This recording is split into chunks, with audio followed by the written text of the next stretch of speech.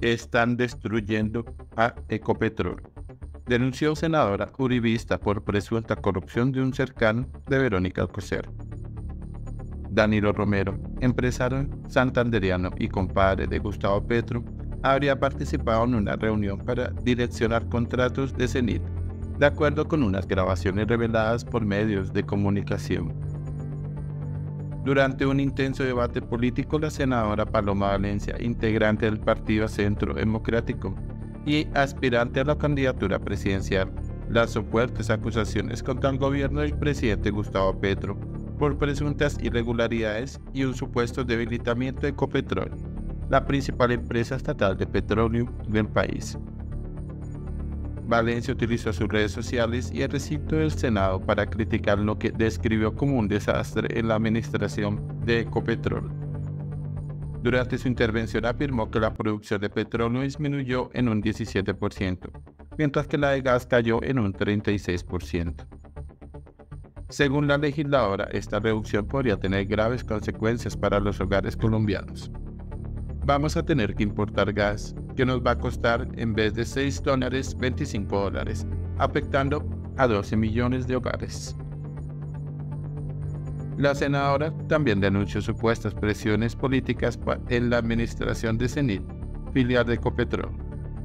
Según Valencia, un directivo de la empresa habría recibido presiones para otorgar contratos a un empresario vinculado al entorno cercano de la primera dama Verónica Alcocer. Un directivo recibe presiones para entregarle contratos a un señor Romero, esposo de la mejor amiga de la primera dama, que supuestamente aportó mucho dinero para la campaña, señaló Valencia. Según la denuncia, este personaje, tras reportar estas presuntas irregularidades a la línea de transparencia de la compañía, fue despedido. Se trata del empresario santanderiano Danilo Romero, conocido por su cercanía de larga data con el presidente Gustavo Petro, el cual fue señalado en un informe de la silla vacía como uno de los protagonistas de presuntas presiones en CENIT, la filial más rentable de Ecopetrol. Según el reporte, este hombre junto al presidente de CENIT, Alexander Cadena, habría buscado direccionar contratos y mover puestos en la compañía para pagar compromisos relacionados con la campaña presidencial. Romero que apoyó la campaña de Petro en la alcaldía de Bogotá en 2011 con una donación de 20 millones de pesos. De acuerdo con reportes periodísticos, mantuvo un perfil discreto durante la más reciente contienda presidencial. No obstante, las grabaciones reveladas muestran que en una reunión se le preguntó a un directivo de CENIT si estaría dispuesto a sumarse a la causa, vinculando estos movimientos a un posible pago de favores políticos. Zenit, considerada la gallina de los huevos de oro del grupo Ecopetrol, generó ingresos por 7,1 billones de pesos en 2023 y tiene un presupuesto de inversión anual que supera el billón de pesos, una suma comparable con el manejo anual de una ciudad intermedia como Neiva. La denuncia plantea cuestionamientos sobre el uso de recursos estratégicos de la estatal en medio de un contexto de alta sensibilidad política y económica. Además, la senadora uribista acusó al presidente de Copetrol, Ricardo Roa, de estar involucrado en actos de corrupción, al señalar que la empresa fue utilizada como caja menor para pagar favores políticos relacionados con la campaña de Gustavo Petro. Está destruyendo Copetrol y exigimos que el señor Roa renuncie, junto con su pareja sentimental, vinculada tantas veces en escándalos, expresó la senadora. Otra de las críticas planteadas fue la renuncia de representantes de pequeños accionistas a la junta directiva de Ecopetrol. Valencia destacó que esta decisión refleja un descontento por parte de los accionistas frente a la dirección de la empresa y acusó al gobierno de no convocar nuevas elecciones para estos puestos. Esto demuestra un desconocimiento de las directrices de la junta directiva por parte del presidente Petro y una grave falta de transparencia. Las declaraciones de Valencia generaron un fuerte debate en el ámbito político y empresarial, mientras sectores de oposición respaldan sus críticas y piden investigaciones exhaustivas. Voceros del gobierno y aliados desestimaron las acusaciones, calificándolas de infundadas y motivadas por intereses electorales.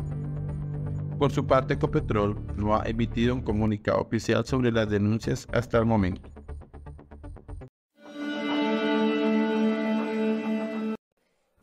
Quiero hoy alzar la voz por lo que está pasando en Ecopetrol. Es absolutamente desastroso un gobierno que está destruyendo lo que ha sido la joya de la corona de los colombianos. Hemos caído en la producción de petróleo en más de 17% y a eso súmele que hemos caído en la producción de gas en más del 36%. Vamos a tener que importar gas que nos va a costar en vez de 6 dólares, 25, afectando 12 millones de hogares de colombianos. Pero lo más grave, señor presidente, son los caprichos del presidente Petro en contra de la empresa, que desbarató el proyecto que estaba para sacar petróleo en aguas del Golfo de México con la Oxy. Y es el segundo proyecto en el que le quedamos mal. Mire lo que está pasando con los pequeños accionistas, que renunciaron sus representantes a la junta directiva en vista de que el presidente desconoce las directrices que da esa junta y ahora se han negado a convocar una nueva junta para que se puedan elegir. Pero tal vez lo más asqueroso que está pasando en Ecopetrol es que la utilicen para pagar las deudas de campaña del presidente Petro.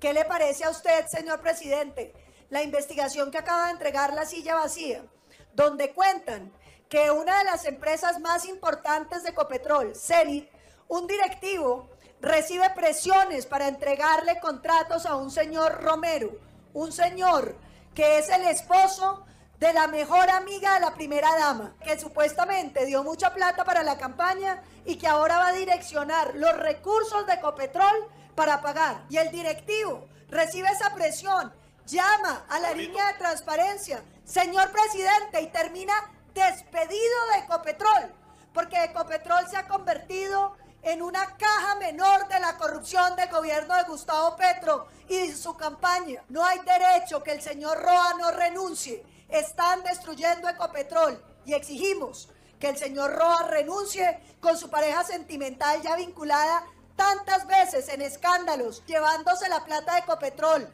para pagar favores políticos y que la fiscal empiece a actuar porque los colombianos no podemos ver que se roben Ecopetrol y no haya autoridades para defenderla.